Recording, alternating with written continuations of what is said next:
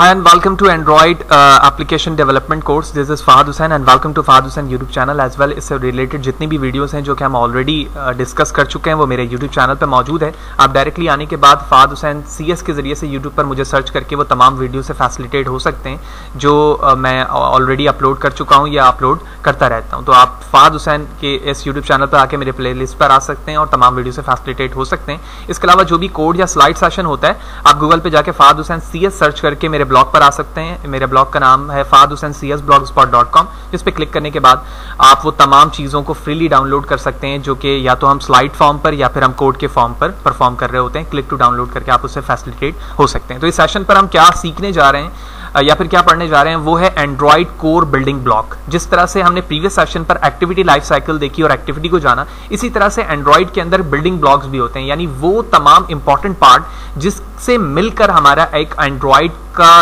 की जो एप्लीकेशन है, वो क्रिएट हो पाती है। थोड़ा सा थ्योरेटिकल या फिर खुश्क है, लेकिन ये बहुत इंपॉर्टेंट है जानना, क्योंकि जैसे ही हम प्रैक्टिकल इंप्लीमेंटेशन पर पहुँचेंगे, ये तमाम चीज़ें हम प्रैक्टिकली कर करके देख रहे होंगे। तो शुरू के टॉपिक्स में हमारे पास थ्योरेटिकली पार्ट इसलिए हैं, क्योंकि ये तमाम चीज़ें इंटरव्यू लेवल पर बड़ी इंपॉर्टेंट होती हैं। अक्सर लोग इन चीज़ों को इग्नोर कर देते हैं कि यार, ये तो काफ़ी खुश्क है, इसमें तो सिर्फ़ डेफिनेशन बताया जा रहा है। तो भाई, ये डेफिनेशन भी आपको पता होना चाहिए कि एंड्रॉइड में बिल्डिंग ब्लॉक्स पे किस चीज़ का क्या रोल है और वो क्या काम परफॉर्म कर रहा है। ठीक है? तो स्टार्ट करते हैं। तो सबसे पहले हमारे पास इमेज है और इस इमेज के अंदर आप देखें तो उसी कोर बिल्डिंग ब्लॉक्स को दिखाया जा रहा है, जिसकी मैं डेफिनेशन यहाँ पर डिस्कस कर चुका हूँ। तो सबसे पहले हम बात करते हैं एक्टिविटी जैसे प्रीवियस स्लाइड पे भी मैंने बताया कि एक्टिविटी की एग्जांपल हमारे डेस्कटॉप या फिर वेबसाइट के डिफरेंट पेजेस पे बेस करती है। जिस तरह से एक वेबसाइट पे डिफरेंट वेब पेजेस मिलकर एक वेबसाइट बनाती हैं, बिल्कुल इसी तरह से डिफरेंट एक्टिविटीज़ मिलकर एंड्रॉइड पर एक कंप्लीट डेवलपमेंट का जो हमारा एक ऐप होता है, वो क्रिएट कर रही होती है। तो यही चीज़ डेफिनेशन पे बताई जा रही है कि an activity is a class that represent a single screen it is like a frame in A W T जिस तरह से एक फ्रेम होता है डब्ल्यू टी में या फिर एक सिंगल स्क्रीन होती है, वो उस चीज़ को रिप्रेजेंट करता है। उसके बाद बारी आती है यू आई की, ठीक है, जिसको हम व्यू कह रहे होते हैं, ठीक है? तो व्यू क्या चीज़ है? एज अ नेम सजेस्ट जिस चीज़ पर आपको अपने जो कंट्रोलर्स हैं जिसके ज़रिए से आप uh, अपनी रिक्वेस्ट सेंड करेंगे उस ऑनर को जिस जिसकी वो वेब जिसकी वो ऐप है।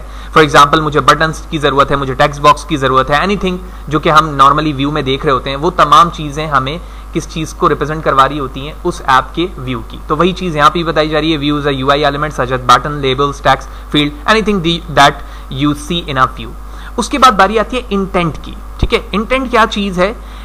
इन सिंपल वर्ड इंटेंट की ज़रूरत हमें ज़्यादातर एंड्रॉइड में उस वक्त पड़ती है जब हम क्लिक इवेंट पर एक एक्टिविटी से दूसरी एक्टिविटी पे जंप करना चाह रहे होते हैं। डेफिनेशन कहती है intent is used to invoke component it is mainly use for start the service यानी हमें सर्विस को स्टार्ट करना है, उसके लिए ज़रूरत हो सकती है, किसी एक्टिविटी को लॉन्च करने की ज़रूरत हो सकती है, या किसी पेज को डिस्प्ले करवाने की ज़रूरत हो सकती है, इस चीज़ के लिए हम इंटेंट का इस्तेमाल करते हैं, और इसी तरह से जैसे स्टार्ट में हमने डिस्कस किया कि इंटेंट एक इंटरनल क्लास है, जिसके हम ऑब्जेक्ट को क्रिएट करके एक एक्टिविटी से दूसरी एक्टिविटी में जम करवा रहे होते हैं। इसी तरह से सर्विसेस देखो, बहुत सारी चीज़ें एंड्रॉइड में या किसी भी एप्लीकेशन के अंदर ऐसी होती हैं, जो यूज़र को विजिबल होती हैं, कि जो आप वेबसाइट यूज़ कर रहे हैं या डॉट नेट की एप्लीकेशन यूज़ कर रहे हैं या एंड्रॉइड की ऐप यूज़ कर रहे हैं तो उसमें क्या चीज़ें इस्तेमाल हो रही हैं तुम्हें दिख रहा है। लेकिन बिहाइंड क्या चीज़ें इस्तेमाल हो रही हैं जिसके ज़रिए से ये एप्लीकेशन काम कर रही है, उन चीज़ों को सर्विसेज़ कहा जाता है, ठीक है? प्रैक्टिकली जब करेंगे तो वो भी बात हमें समझ में आएगी। तो सर्विसेज़ से क्या मुराद है? Services is a background process background से क्या मुराद है? कि यूज़र को नहीं पता, सिर्फ़ ऑनर जानता है कि वो किस तरह की सर्विसेज़ को अपने उस एंड्रॉइड ऐप के अंदर यूज़ कर रहा है। That run for a long time similarly there are two type of the services local and remote दो तरह की सर्विसेज़ हो सकती हैं. Local services is exist from with in the application application के अंदर रहते हुए उन सर्विसेज़ uh, को यूज़ करना. Whereas remote services exist remotely from other application running on the same device यानी एक सेम डिवाइस में रहते हुए रिमोटली मैं किसी और सर्विसेज़ को इस्तेमाल कर रहा हूँ तो ये फिर रिमोट सर्विस के ऑप्शंस uh, पे ऐड होती हैं और लोकल सर्विस से मुराद ये है कि उसी एप्लीकेशन पर रहकर उसकी सर्विस को इस्तेमाल करना सर्विस की डेफिनेशन पर आता है. तो हमने सर्विस भी देख लिया। उसके बाद बारी आती है कंटेंट प्रोवाइडर की, ठीक है? कंटेंट प्रोवाइडर क्या है? डेफिनेशन में बताया जा रहा है कि content provider are use to share data between the application यानी ये एक ऐसा बिल्डिंग ब्लॉक एरिया है जिसके ज़रिए से हम अपने डेटा को एक एप्लीकेशन से सेंड कर रहे हैं किसी दूसरे रिसोर्स पर, ठीक है? कोई भी रिसोर्स हो सकती है, मैं डेटाबेस की बात कर सकता हूँ, मैं एक प्लेटफॉर्म से, एक एक्टिविटी से दूसरी एक्टिविटी में डेटा को लेके जाना चाहता हूँ एक्सेट्रा उसके बाद बारी आती है फ्रेगमेंट की। ठीक है। फ्रेगमेंट को आसान लफ्जों में ऐसे आ, बत, आ, बता सकता हूँ कि फॉर एग्ज़ाम्पल तुम्हारे पास एक एक्टिविटी है और तुम एक ही एक्टिविटी में रहते हुए चाहते हो कि तुम्हारा जो तुम्हारी जो एक्टिविटी है वो दो हिस्सों में डिवाइड हो जाए। यानी ये एक्टिविटी एक अलग सेपरेट नाम रखे और ये एक्टिविटी का पार्ट एक अलग सेपरेट नाम रखे विथ सेपरेट कंट्रोलर ठीक है इस लेवल पे समझने के लिए मैं इस तरह से बता रहा हूँ। तो डेफिनेशन पे क्या बताया जाता है कि fragment are like a part of the activity part of the activity से क्या मुराद है कि एक ही एक्टिविटी को मैंने दो पार्ट में जैसे डिवाइड कर दिया तो यही वजह है कि इसको पार्ट कहा जा रहा है। An activity can display one और more fragment on the screen at the same time यानी सेम टाइम एक ही एक्टिविटी के अंदर मैंने दो फ्रेगमेंट को लाकर शो करवा दिया है। यानी दो डिफरेंट यूआई को एक ही एक्टिविटी में शो करवा रहा हूँ। ये चीज़ हमारी फ्रेगमेंट कहलाती है। उसके बाद है एंड्रॉइड मिनिफिस्ट डॉट एक्सएमएल की फ़ाइल जिस तरह से अगर आपने तु, तुमने. डॉट नेट पे काम किया है तो तुम्हें पता होगा नहीं भी किया तो कोई इशू नहीं है। वहाँ पर हमारे पास वेब कॉन्फिक की फ़ाइल होती थी जहाँ पर हम ग्लोबल सेटिंग किया करते थे। ये पूरे प्रोजेक्ट में क्या सेटिंग करने की ज़रूरत है। बिल्कुल इसी तरह से एंड्रॉइड मैनिफेस्ट की फ़ाइल करती है जो कि डिफरेंट एक्टिविटी की इंफॉर्मेशन अपने अंदर स्टोर करती है।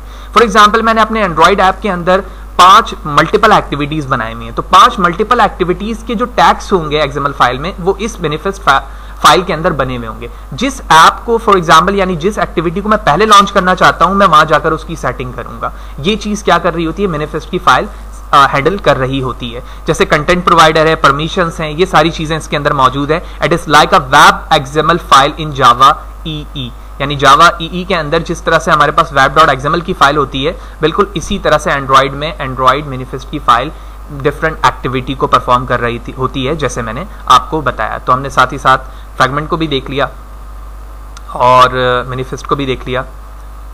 और एट लास्ट हमारे पास ब्रॉडकास्ट रिसीवर है। ठीक है, जो कि हमारे कोर बिल्डिंग ब्लॉक के अंदर आता है और एज अ नेम सजेस्ट इसका काम क्या है कि ये एंड्रॉइड का मेन कंपोनेंट है जो अलाउ करता है कि आप सेंड या फिर रिसीव कर सकें किसी एंड्रॉयड सिस्टम या फिर एप्लीकेशन इवेंट की इंफॉर्मेशन को, ठीक है? जैसे जैसे हम आगे जाएँगे तो ये बात समझ में आएगी कि एक्चुअली ये रिसीव और सेंड क्या चीज़ें कर रहा है और एप्लीकेशन इवेंट से क्या मुराद है, इस चीज़ के लिए ये चीज़ रिस्पॉन्सिबल होती है। एंड एट लास्ट हमारे पास एंड्रॉइड वर्चुअल डिवाइस है, ठीक है? It is use to test the Android application without the need for mobile और टैबलेट एक्सेट्रा यानी अगर हमारे पास एक वर्चुअल डिवाइस होती है तो हम एंड्रॉइड एप्लीकेशन के बगैर ही इन अपने आउटपुट को चेक कर सकते हैं कि वो फाइनली जब मोबाइल पर लॉन्च होगा तो वो किस तरह से दिखेगा। It can be created in different configuration to emulate different type of the real devices such that जो हमारे पास वर्चुअल मशीन बनती है उस, उसको भी हम एंड्रॉइड वर्चुअल डिवाइस कह रहे होते हैं। जो कि या तो डालविक वर्चुअल मशीन के नाम से मशहूर है, या इसी तरह हम इमुलेटर भी बनाते हैं उसी वर्चुअल कॉन्सेप्ट को यूज़ करते हुए, जिसके ज़रिए से हमें आउटपुट दिख रहा होता है। होपफुली आपको तमाम बातें क्लियर होंगी कि एंड्रॉयड में कोर बिल्डिंग ब्लॉक्स क्या क्या हैं और उसकी डेफिनेशन क्या है और वो क्या एक्टिविटी कर रही होती हैं। तो कोई भी सवाल हो तो कमेंट सेशन पर ज़रूर पूछो यार, कोशिश करूँगा आपको बर वक्त जवाब दे सकूँ उस हवाले से। चैनल को सब्सक्राइब नहीं किया तो चैनल को सब्सक्राइब करो यार, ताकि अपकमिंग डेज़ में आपको लेटेस्ट वीडियो के हवाले से आगाही मिलती रहे। चैनल को वीडियो को लाइक करें और ज़्यादा से ज़्यादा लोगों को शेयर करें। Thank you